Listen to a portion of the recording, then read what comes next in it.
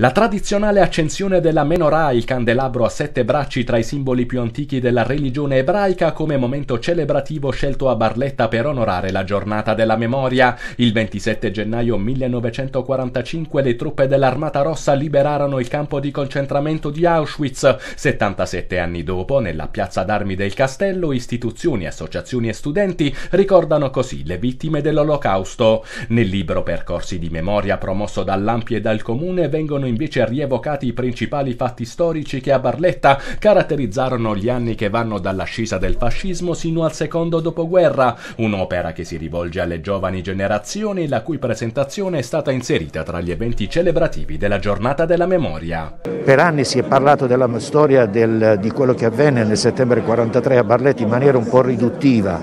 eh, adesso ormai il puzzle è quasi completo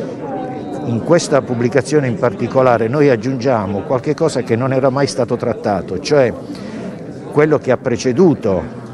la seconda guerra mondiale, quindi le violenze squadriste a Barletta, e il periodo successivo, quello dell'accoglienza, perché Barletta si è distinta e questo dovrebbe essere un punto di orgoglio per tutti i barlettani, Barletta si è distinta per l'accoglienza quindi tutti i profughi che provenivano anche dai campi di concentramento, come i profughi del confine nord-orientale, transitarono e furono accolti da Barletta, non soltanto perché c'erano delle strutture predisposte a questo, ma furono accolti dalla cittadinanza, si integrarono con la cittadinanza barlettana e questa disponibilità ad accogliere, ad ascoltare le loro storie,